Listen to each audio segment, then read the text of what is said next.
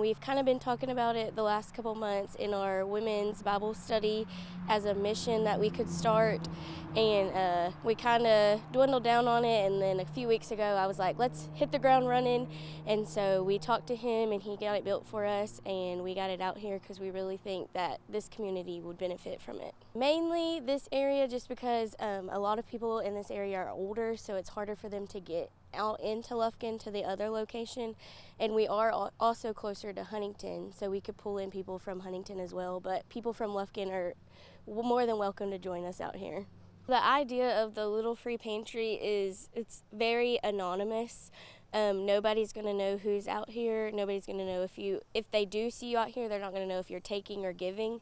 Um, so it kind of it breaks that barrier of people that are I guess they would be afraid to go. They don't want people to know that they are needing um, help. So if they come out here, nobody knows who you are or what you're doing out here if you're giving or taking. So it kind of takes away that scare factor of going to someone for help.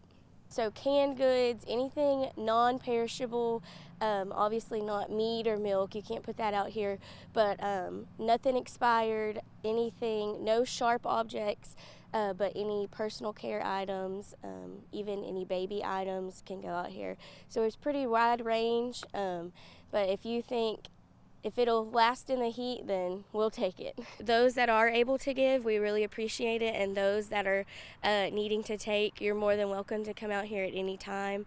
Uh, you'll be, you'll just see the church location, and you'll pull in, and you can come through here. And uh, no, like I said, nobody will know if you're taking or giving. So don't worry about um, people. I know a lot of people worry about judgment, so don't worry about that. It's a judgment free. Just take what you need and uh, give when you can.